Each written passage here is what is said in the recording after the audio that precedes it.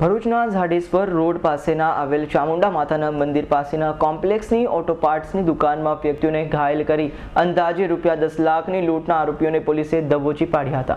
આ સનસનાટી ભરી લૂંટના બનાવ બાદ દોડી આવેલ પોલીસ કાફલાએ લૂંટારુઓની ઝડપી પાડવાની કવાયત હાથ ધરી હતી. કવાયતના ભાગરૂપે નેશનલ હાઈવે સહિત વિવિધ સ્થળે નાકાબંધી પણ કરવામાં આવી હતી. આ નાકાબંધી દરમિયાન જંબુસર તાલુકાના વેડજ પોલીસ મથકની હદમાં આવેલ ઉચ્છદ પાસે એક કારને શંકાને આધારે અટકાવવા જતા કાર ચાલકે કારને ભગાડી મૂકી હતી. જેની પાછળ ફિલ્મી ધબે police sub inspector S R Patel તેમજ તેમની ટીમે કારનો પીછો કરીને માસર ગામ પાસે કારને ઝડપી પાડી તેમાં બેઠેલા બે શખ્સો જનાર્દન નાયડુ તેમજ રાહુલ મકવાણાને પૂછપરછ કરતા બંનેની સંડોવણી લૂંટમાં હોવાનું બહાર આવ્યું હતું.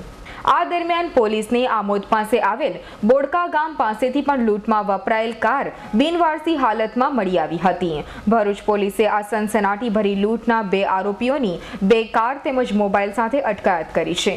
પરંતુ લૂંટનો મુદ્દામાલ તથા અન્ય પાંચ આરોપીઓ પોલીસ પકડથી દૂર હોય, પોલીસે તેઓને ઝડપી પાડવાની કવાયત હાથ ધરી એક પોલીસની ટીમ તમિલનાડુ પણ રવાના કરી છે. તેમજ આરોપીઓના રિમાન્ડ માટેની તજવીજ હાથ ધરી છે. Avi સૈયદનો report S nine news Bharuch.